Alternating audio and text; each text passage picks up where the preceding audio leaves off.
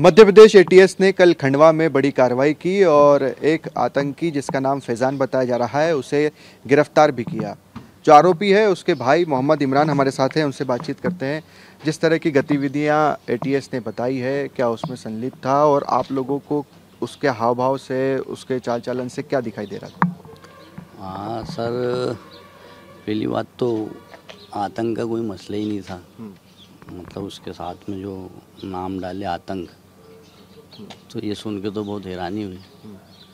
हाँ एटीएस की टीम जो आई थी रात में, हमको तो पता ही नहीं कि एटीएस वाले हैं। ये हम समझ गए थे पुलिस वाले हैं।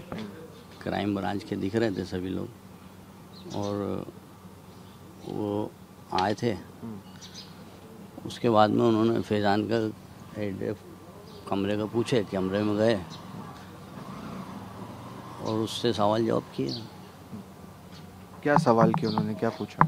सर हम लोग तो एक तरफ़ खड़े थे और जो है तो हमको बड़ी हैरानी हुई कि फैजान का ऐसा एकदम से इतने सारे लोग कैसे आ सकते पूछने?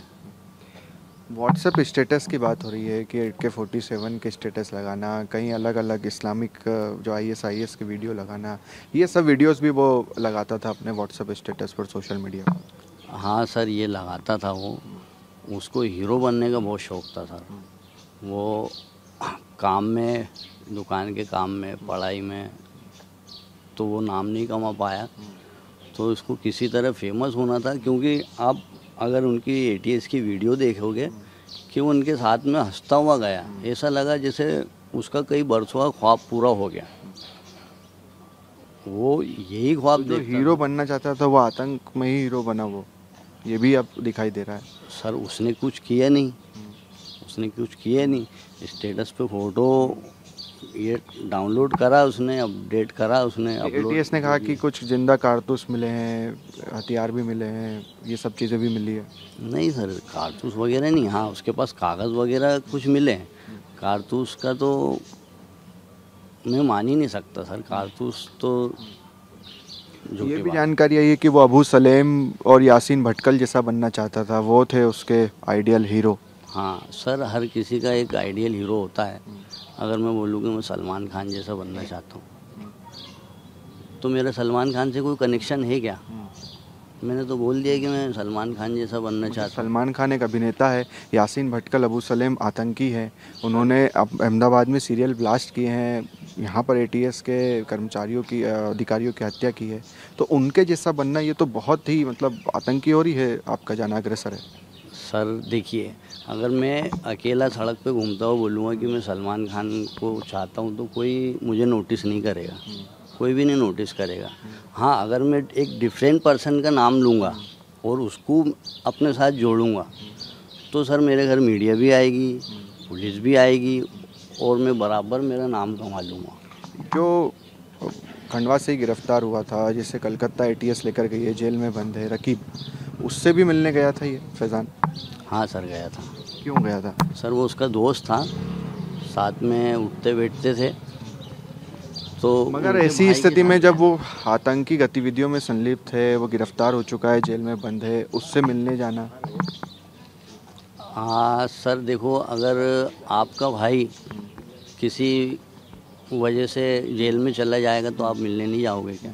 भले वो कितना भी बड़ा क्रिमिनल हो उसको देखने जाएगा इंसान कि किस हाल में है वो। बस। जो एटीएस कह रही है कि वो लोन वुल्फ अटैक यानी कि एक अकेला आदमी ही उसे ग्रुप की ज़रूरत नहीं होती वो अकेला ही हमला कर सकता है उसकी फिराक में था देखिए सर ये बात मैंने बोला हूँ आपको उसने किया नहीं है। उसने फ़ेमस होने के लिए सारी चीज़ों को गढ़ा है। क्योंकि उस पर कुछ ऐसा क्रिम क्राइम जो है तो साबित तो हुआ नहीं है। ये सारी चीज़ें सोशल मीडिया पे वो डालता था।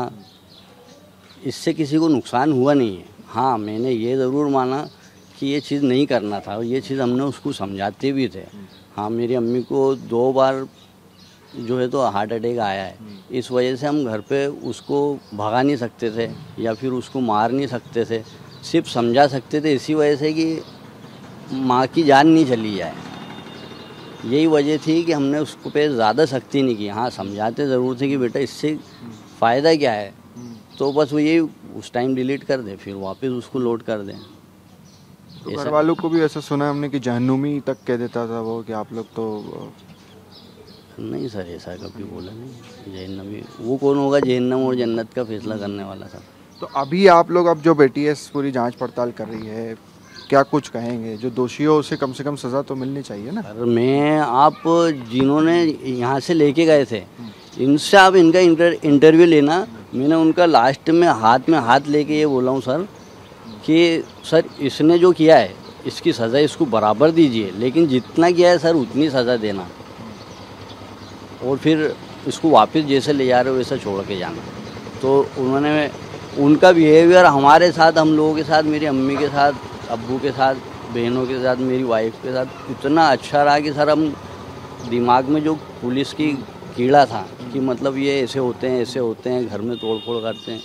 सर वाकई में बहुत अच्छे रहे ये लोग और इनसे हमने बहुत खुल के यही लास्ट में यही वर्ड बोला सर मैंने कि सर इसको अच्छा सर ने ये बोले मुझे कि देखो आप वो मुस्कुरा रहे हो और आप सब लोग रो रहे हो। तो वो मुस्कुरा क्यों रहा है? आप उसको समझो बोले, आपके भाई को, आपके बेटे को समझो। मैंने सर, वो सिर्फ़ हीरो बनना चाह रहा था और वो हीरो बन गया, उसका पूरा पेपरों में नाम आ गया, उसकी ख्वाहिश पूरी हो गई, सर, उसकी तमन्ना यही थी। अगर आप इसको मारो, ठोको, जो भी करना है करोगे, आपको सिर्फ़ ये एक हीरो मिलेगा और वो भी ज़ीरो के जैसा। चलिए तो जो दोषी होगा, उसे सज़ा ज़रूर मिलेगी। ये है आरोपी फैज़ान के परिवारजनों का कहना। हालाँकि वो बता रहे हैं कि दिमागी फितूर भी चल रहा था कहीं ना कहीं, मगर हीरो जो फैज़ान ने चुने, वो गलत चुने। सलमान खान जैसा कि परिवार कह रहे हैं, वो चुनता तो ठीक होता, मगर फैज़ान ने फ़ेमस होने के लिए चुना आतंक के हीरो, यानी कि यासिन भटकल। और अबू फैसल को। कैमरा पर्सन मुकेश के साथ? Shubham Gupta, TV nine Bharatvarsh, Bhopal.